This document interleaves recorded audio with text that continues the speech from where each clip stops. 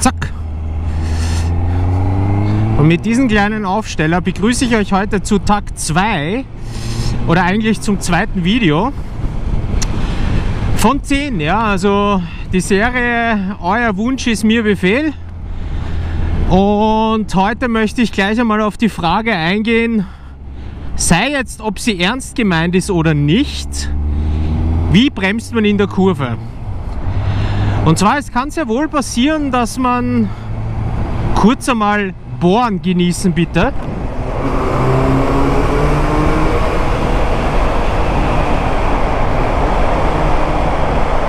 Wir machen jetzt ein Tunnelbohren.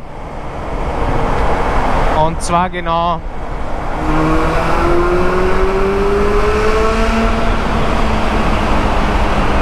jetzt. Ah, das, das, oh, ah, okay. ich dachte jetzt, das ist die Kiewerei. So geil. jetzt habe ich mal kurz in die Hosen gemacht. Noch einmal.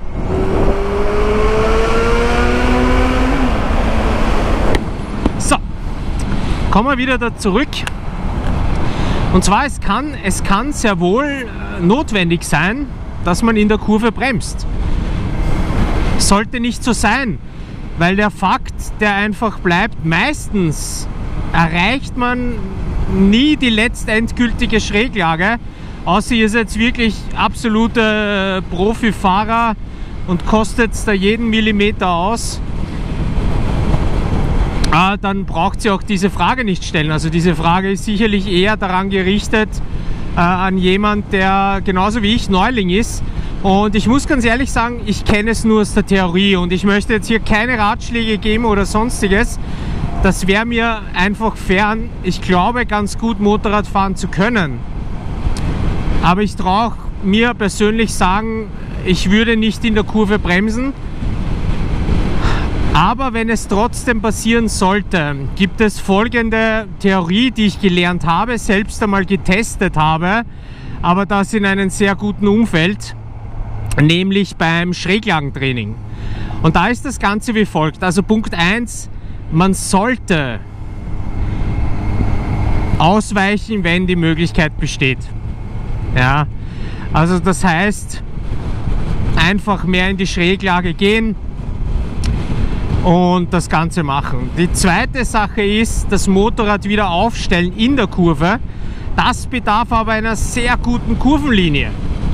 Wenn ihr eine sehr gute Kurvenlinie habt, und damit meine ich nicht das Schulschematische, man fährt immer Scheitelbogen eng, ja, sondern man fährt rund, man fährt rund und dann sieht man, ah shit, ich bin zu schnell ähm, dann stellt man die Maschine wieder auf. Und wie funktioniert das?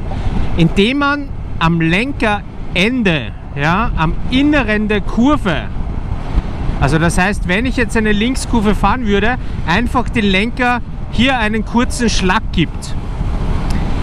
Was passiert dann? Das Motorrad stellt sich wieder auf und das Ganze dann noch mit die Knie und sobald das Motorrad wieder steht, bremsen, zack, wieder in die Schräglage, also wieder reindrücken.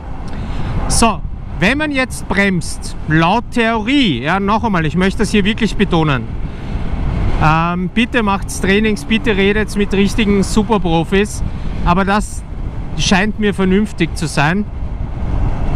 Dann ist es so, ihr seid in Schräglage und jetzt gibt es natürlich viele Faktoren. Ja? Das erste ist, wie stark ist der Grip von euren Reifen? Wie sind eure Reifen? Wie ist der Straßengrip? Wie hoch ist eure Schräglage? Weil der Fakt ist, umso höher eure Schräglage ist und ihr bremst vorne, umso schneller ist auch die Traktion weg. Ja, also das heißt der Grip. So, wenn ihr jetzt in Schräglage geht, so wie da, ja, und ich jetzt einmal kurz am Lenker ziehe, ist das Motorrad sofort wieder da. Also das heißt, ich bin gerade, kann bremsen, gehe wieder in die Schräglage. Das muss aber das Hirn einmal begreifen, weil viele kennen diesen Blockierzustand. Das heißt, ich gehe in die Kurve, bremse leicht und dann fahre ich auf einmal geradeaus. Und das gehört geübt. So, was passiert aber jetzt, wenn ich in, in ärgerer Schräglage bin? Ich probiere das jetzt hier zu demonstrieren. Ich gehe in Schräglage, zack, Lenker, mein Motorrad steht. Jetzt kann ich folgendes machen. Wenn ich jetzt bremse, passiert im Endeffekt dasselbe, wie wenn ich den Lenker nach innen ziehe. Also in die kurveninnere Seite.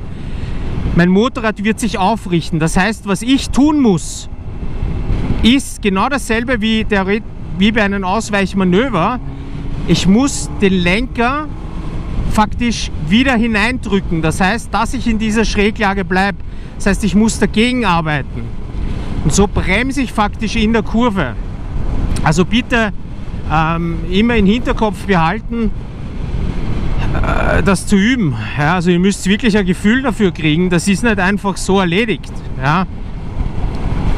Grundsätzlich Schaut, dass ihr bitte nie zu schnell in die Kurve fahrt. Lieber ein bisschen langsamer und dann fett rausziehen. Das macht viel mehr Spaß, weil man dann einfach da mit dem Handgelenk immer so ein bisschen auf und zu machen kann. Ja. Und dementsprechend die Kurven dann sehr dynamisch fährt. Das hat so einen Flow-Instinkt. Das andere ist schon fast ein bisschen, naja, ich weiß nicht, wie möchte ich sagen, Ringstyle, aber schon ein bisschen extrem. Also, wie bremst man also richtig in der Kurve? ähm, also richtiges, richtig möchte ich nicht sagen, sondern es ist wirklich, äh, wenn ihr da bremst, dann wenn dann mit der Vorderradbremse, weil der Fakt ist, wenn ihr da hinten, ähm, vor allem wenn ihr KBS habt und nichts und ich glaube, es gibt noch nicht sehr, so viele Maschinen am Markt, die Kurven-ABS haben, ähm, dann blockiert das Hinterrad sehr stark und vor allem, wenn ihr in einer Schrecksekunde seid. Das heißt, ihr merkt, oh, die Kurve, ich muss da jetzt einfach bremsen und ihr mit dem Hinterrad da voll reinsteigt äh, in einen Schreckmoment, ja, dann würde ich fast sagen, ihr liegt auf der Pappen. Ja. Also da würde ich echt die Hinterradbremse wegnehmen. Das Einzige, wo es das gibt, ist, wenn man da ein bisschen in die Kurven hineindriftet, soll es manche Leute geben, äh, die das äh, beherrschen. Ja, ich beherrsche es nicht. Äh, ich traue mich das auch noch nicht zu machen. Vielleicht mit einer Supermoto, aber nicht mit meinem Naked Bike. Also, noch einmal hier, Lenkerende, zack. Und das könnt ihr üben. Wichtig dazu ist der Knieschluss, das ist immer ganz wichtig. Ja. Ähm, das Ganze funktioniert dann eben auch, wenn man äh, Knieschleifen tut. Da ist das Ganze dasselbe Thema, das Motorrad wieder nach oben zu bringen, wenn man eben da sehr weit neben dem Motorrad liegt. Ähm, Bremsen in der Kurve, wenn dann mit Vorderradbremse und wenn ihr wirklich in einer Notsituation seid, denkt, geht so über euch drüber, übt das einfach nochmal einen kleinen Lenkerimpuls nach innen, dass ihr schräger werdet, um die Kurve dann doch zu schaffen. Leicht vom Gas runtergehen, aber nicht brutalst. Ähm, und wenn es wirklich anders nicht mehr geht, einfach probieren zu bremsen. Mehr als dass dann euer Hinterrad wegrutscht und ihr so und so stürzt. Ja, das klingt jetzt ein bisschen deppert, aber ich hoffe, ihr versteht, was ich meine. Ähm, dann möchte ich jetzt noch kurz auf eine andere Frage eingehen. Äh, und zwar, wie wird das Wetter zu Ostern? Ja, das wird schön. Und schneien äh, wird es nicht. Ähm, das kann ich vergewissern. Also der Ostern wird sehr schön 2018. Das ist äh, das, das, ja, das glaube ich, ja. ja. Nein, das weiß ich, das weiß ich. Es wird sehr schön. Wird sehr schön das Wetter. Ich hoffe, ich habe die Frage damit beantwortet. In Tag 3 ähm, geht es dann weiter mit ein bisschen was Privaten vielleicht und auch eine kleine Hilfestellung. Und somit wünsche ich euch alles Liebe. Das war Tag 2. Ich bemühe mich, ich bemühe mich, ich bemühe mich, euch die Fragen zu beantworten, äh, die ich weiß. Bitte dieses Bremsthema jetzt, und das ist mir nochmal ganz wichtig als Nachtrag, ähm, das ist Theorie. Ja? Das ist wirklich Theorie, was ich hier gemacht habe. Ich habe es so vermittelt bekommen, dass es funktionieren kann. Ich selbst habe es noch nicht gebraucht und wenn es wirklich zu schnell für mich wurde, dann habe ich immer das Motorrad in der Kurve aufgestellt, ähm, zack, und habe dann gebremst und dann wieder hineingedrückt. Das hat immer für mich funktioniert. Ich verstehe aber, dass es Situationen gibt, wo man einfach am Limit ist. Deshalb bitte ähm, solltet auch hier oder mit bessere Tipps von Profis hier sein, bitte gerne in das Video, in die Kommentare hinein. Ähm, äh, sonst äh, ja einfach nicht nachmachen. Man kennt das. Bitte macht das nicht nach. Ähm, in diesem Sinne wünsche ich euch alles Liebe. Das war Tag 2. Tag 3 kommt bald. Peace, Leute. Ich habe euch lieb. Danke für die geile Challenge. Ciao.